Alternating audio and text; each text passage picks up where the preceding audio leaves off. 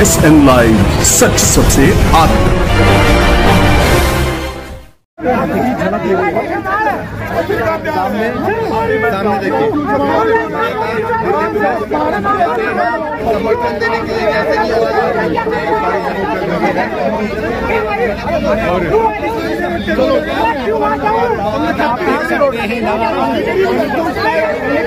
क्या कहना चाहेंगे आप?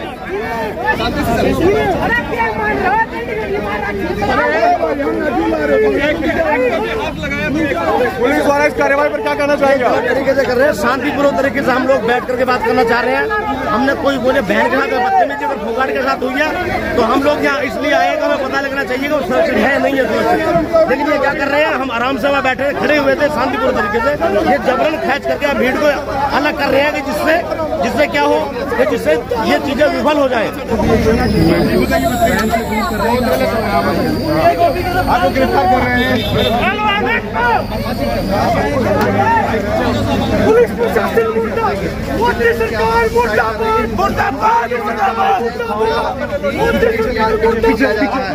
पुलिस मीडिया कर्मचारियों को भी आगे नहीं आने दिया जा रहा है। मीडिया को भी आगे आने नहीं दिया जा रहा है पुलिस द्वारा। के साथ में गलत हो रहा है के हमें जबरन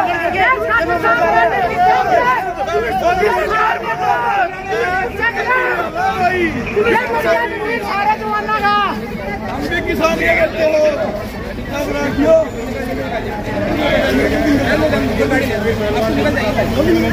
अरे एक अरे सुनो। सब इंस्पेक्टर रैंक को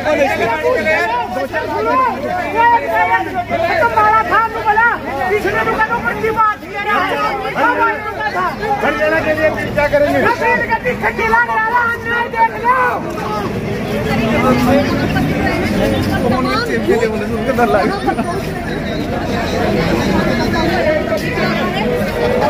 ऐसे ही लगातार दो बजने वाले हैं दो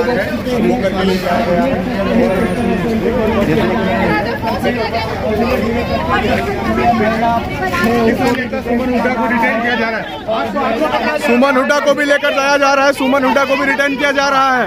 क्यों क्यों क्या कहेंगे इस कार्रवाई को? तानाशाही है तानाशाही। आम इंसान को जीने नहीं देंगे बोलने नहीं देंगे सांस नहीं लेने देंगे। गिरफ्तारी का विरोध नहीं कर रहे हो। कितनी बार विरोध करे पहले भी विरोध किया था फिर वो कहते हैं दिन में जो है।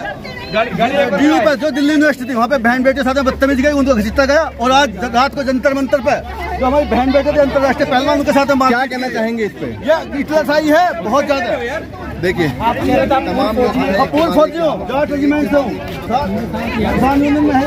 आराम से कोई हाथ पास तो ये बिल्कुल तो मिलने के लिए आए हमारे पहले साथ मारपीट की गई है। उन्हीं के साथ में है। और हमें मिलना है तो हमें मिलने दे। रहा और ये पुलिस के आप देख रहे हैं। इस तरह का है। तो हम तो देशद्रोही है अपने आदमी मिलने नहीं आए। हमारी बहन बेटी हमारे बोलिए। हम तो बेटे से मिलने के लिए आए तो इनके लिए पर्दा फोर्स की लगाई है।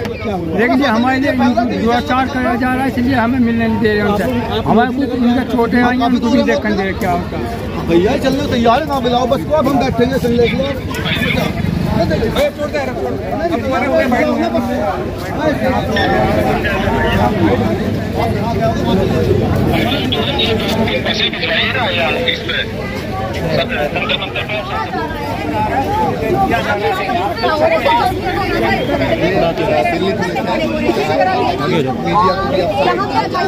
यहाँ पर यहाँ पर वहाँ से जंतर मंतर से तीन सौ मीटर की दूरी पर खड़े हैं। जो जगह है आप देख सकते हैं जंतर मंतर के क्या हालात हैं इस वक्त।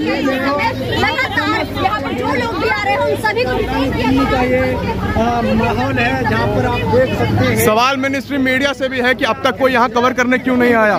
पूरी देश के अंदर। एक अंतर्राष्ट्रीय पहलवान बजरंग पूलिया उसके साथ में मारपीट करी। हमारी अंतर्राष्ट्रीय पहलवान जिन्होंने पूरे विश्व में डंका बजवाया उनके साथ में मारपीट करी गई। विश्व में मानने जानी विश्व की दिल्ली यूनिवर्सिटी दिन के अंदर वहाँ बहन बेटियों के साथ में पुलिस ने अत्याचार किया उनको घसीट घसीट कर बस में भरा। उन्हें प्रोटेस्ट नहीं करने दे रहे और यहाँ आराम से नहीं बैठने दे रहे हमें। आप कहाँ से आए? ये मोदी नगर से मोदी नगर से। हाँ, पूर्व इनको भी डिटेन कर लिया जा रहा है इनको भी लेके जाया जा रहा है आप देख सकते हैं। और ये जो भी आ रहा है उनको दबी तादाद और भी ज़्यादा बड़ी हो जाएगी क्योंकि यहाँ पर लगातार लोग इकट्ठा हो रहे हैं लगातार बड़ी संख्या में लोग आ रहे हैं।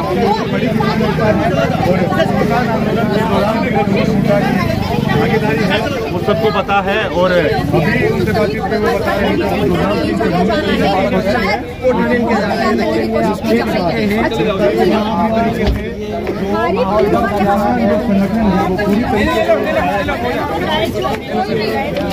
भी बात करने की कोशिश कर रहा है कोई भी भाई मैडम देश और दुनिया की ऐसी ही खबरों को पाने के लिए जुड़े रहिए हमारे साथ। और हाँ अगर आप वीडियो को फेसबुक पर देख रहे हैं तो हमारे फेसबुक पेज को लाइक करें। और अगर आप यूट्यूब पर देख रहे हैं तो यूट्यूब चैनल को सब्सक्राइब करना मत भूलिए।